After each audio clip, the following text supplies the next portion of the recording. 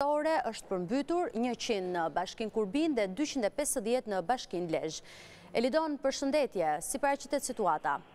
Po, përshëndetje. Në fakt, gjatë gjithë natës së mbrëmshme kanë vijuar reshjet në qarkun e Lezhës, por pa shkaktuar probleme të mëdha, duhet thënë, ndërkohë që sërish disa hektarë tokë bujqësore vijojnë të jenë nën pushtetin e ujit. Kështu, në zonën e Torovicës, kryesisht Janë rreth njëqind e pesëdhjetë hektarë të cilat ka të paktën dhjetë ditë që ndodhen nën pushtetin e ujit. Kjo vjen edhe për faktin se, siç e kemi theksuar edhe herë tjera, është hidrovori i Balldrenit i cili nuk bën të mundur tërheqjen e ujit pasi është nën nivelin e kënetës.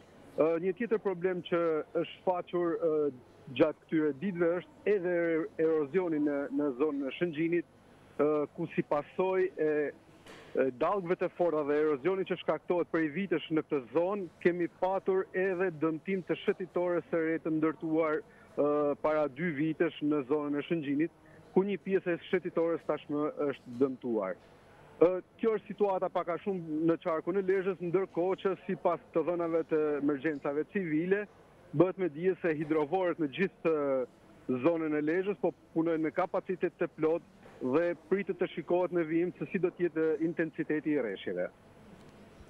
Elidon, të falenderoj për këto detaje që përcolle në studio.